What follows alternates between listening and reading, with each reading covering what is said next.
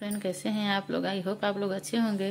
तो चलिए, आज मैं आपके साथ शेयर करने जा रही हूँ चिकन रोस्ट मैंने ये हाफ़ के जी चिकन ले लिया, इसको अच्छी तरह से धो लिया है। दो अंडे ले लिए हैं। उसके बाद ये थोड़ा सा बेसन है, चना का। और ये देख सकते हैं, हरी मिर्च, अदरक और लहसुन।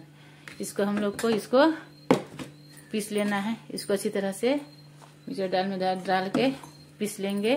देख सकते हैं, मैंने ये पेस्ट बना लिया है। इसको डाल देना है।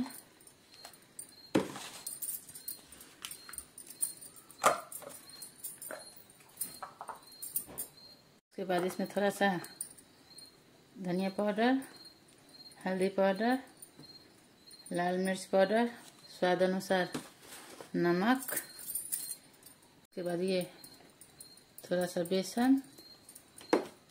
उसके बाद ये अंडे को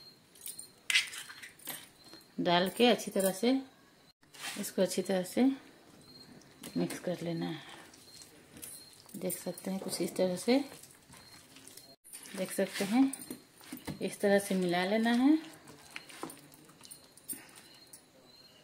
उसके बाद इसको दो मिनट के लिए ऐसे ही रेस्ट करने के लिए छोड़ देंगे। देख सकते हैं, दो मिनट रेस्ट के लिए छोड़ दिया था। कढ़ाई गर्म हो चुकी है, तेल भी गर्म हो चुका है।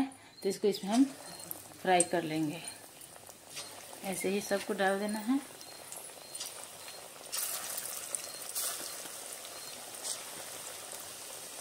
सब इसी तरह से डाल दीजिएगा।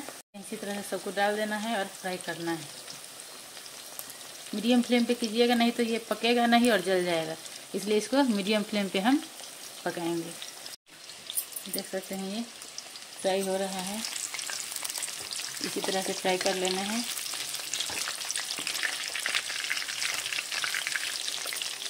इसी तरह से पलट लेना है, उसके बाद फिर इसको मीडियम फ्लेम पर थोड़ा सा पका लेना है। देख सकते हैं ये रोस्ट बन चुका है। अच्छी तरह से फ्राई हो चुका है। और इसको हम निकाल लेंगे।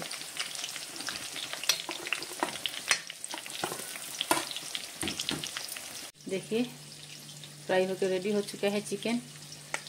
रोस्ट। अगर आपको ये रेसिपी अच्छी लगी तो लाइक, कमेंट और सब्सक्राइब करना ना भूलिएगा।